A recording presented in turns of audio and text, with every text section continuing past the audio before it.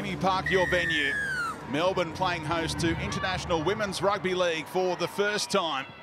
And it's a beautiful afternoon Good as well. kick. And how's this for a start for the Jillaroos? Perfect. From inside the 40, McGregor finds a Early nice angle well. here. And Oh, will get the yes. back. 40-30. They want to keep going that way. New Zealand trying to number up, but Aiken spotted something and floats it over the top for Chapman against Nicholls. So powerful. What a finish from Jaime Chapman, one of the stars of the NRLW Grand Final. Australia asking for some quicker play the balls. Kernick. Sergis somehow holds on in contact.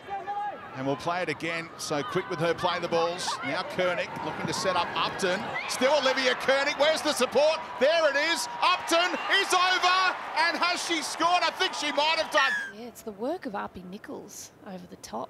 We've cleared It all, play, dislodges it. all aspects of play up until this point. There, she loses that.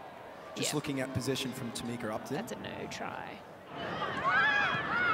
Pass out in front of McGregor. Did well to hold on. And now Good space opening up for Nicholls.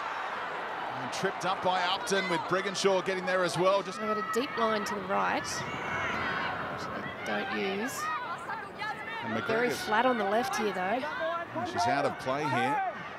The number seven has to play the ball on the last, so they go to that left-hand side. Nathan-Wong trying to set it up for Hufanga! there it is! Oh, Mele Hufanga! Unstoppable as the Jillaroos switch off and pay the price. But then this is the pet play for the Kiwis, and this is what we've spoken about. You clock off on the inside there, you see they don't tie in, and the space is created. Mele Hufanga is so strong, you can't give her that half sniff. She makes you pay. Here's Tonegado combining with Cherrington centre field. Scored two tries in that World Cup final. Kennedy tipped on cleverly by Tonegado through the hands of Kernick to Sergis. Winding up his chest, So strong and thought about forcing it out the back. Held on. Now Hale trying to eye up the defence. Trying to create something here for Hufanga. Oh, Apii. Apii Nicholls is through. Australia already complaining about an obstruction, but for now, the Kiwis are in front. Catches it on the inside shoulder of Nevada George, and then she takes it to the outside, and The New Zealand player Nelly. catches the ball on the inside shoulder of the lead runner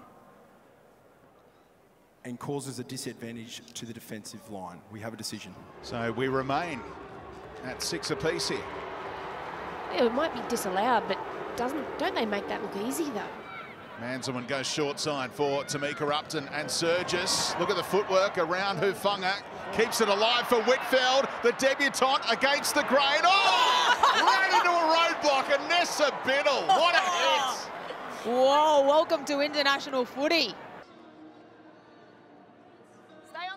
Find their groove in attack. Brigginshaw, Sergis.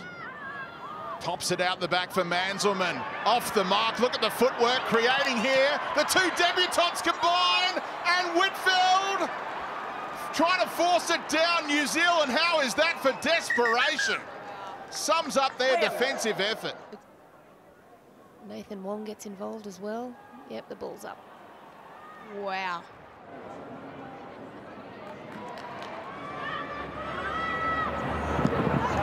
Tipped on by oh! Upton. And Hufanga swoops. Trying to get away from Sergis, who's rounding her up. Oh. And they're inside the 40. Contact over the top.